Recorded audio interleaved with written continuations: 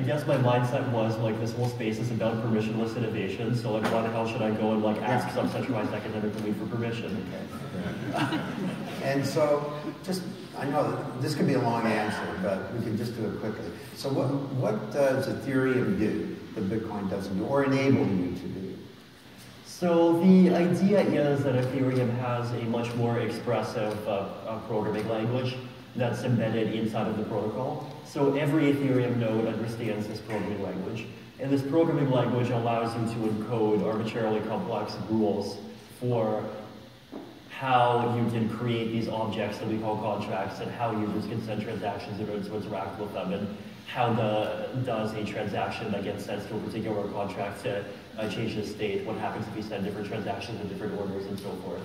And using this scripting language as a kind of basic building block, you can uh, do pretty much any application that can be expressed through sort of simple business logic. So like, if you look, think of something like a currency, the business logic for that is actually pretty simple.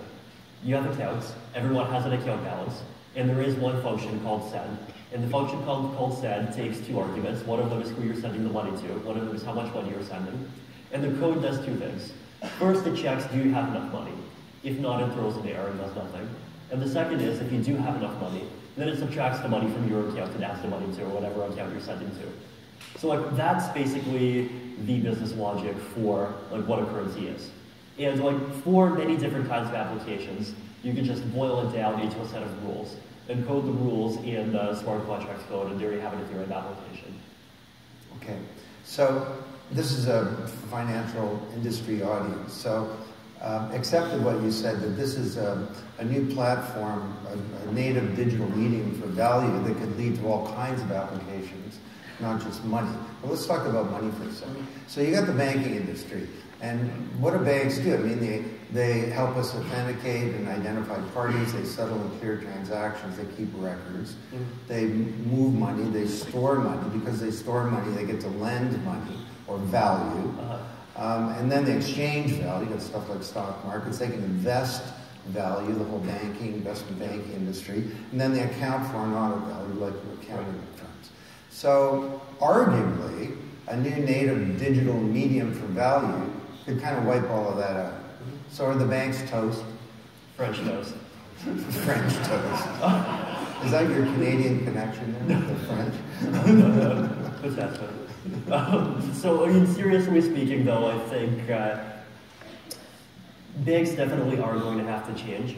And even independently of blockchain technology, there's a lot of technological innovation, a lot of disruption that's uh, just necessarily going to happen. And if you don't adapt, you're going to die, basically.